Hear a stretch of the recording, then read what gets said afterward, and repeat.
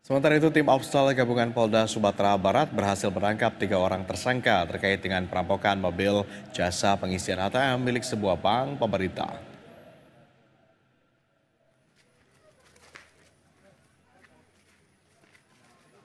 Perampokan berawal dari skenario yang disusun oleh para pelaku.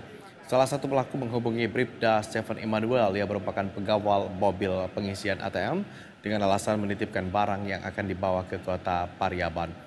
Para pelaku menodongkan pistol ke arah pengawal mobil dan mengambil alih beberapa box yang berisi uang sebesar 2,5 miliar rupiah.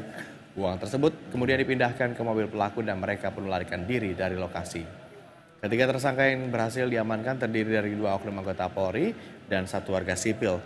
Mereka ditangkap di dua lokasi berbeda di Kota Padang dan Kabupaten Padang Pariaman.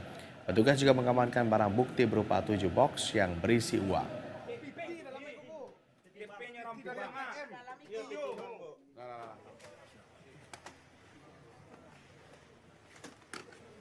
Melakukan tindak pidana berarti kan namanya sasarannya uang.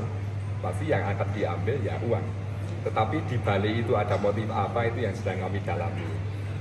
Ya kan? Kan kami tadi sudah menyampaikan bahwa pertemuan antara si pelaku yang mengaku itu yang sipil ini aja dengan dua anggota kami itu pun seperti apa perencanaannya ini kan beliau-beliaunya ada di sini tapi pendalamannya kan masih berlangsung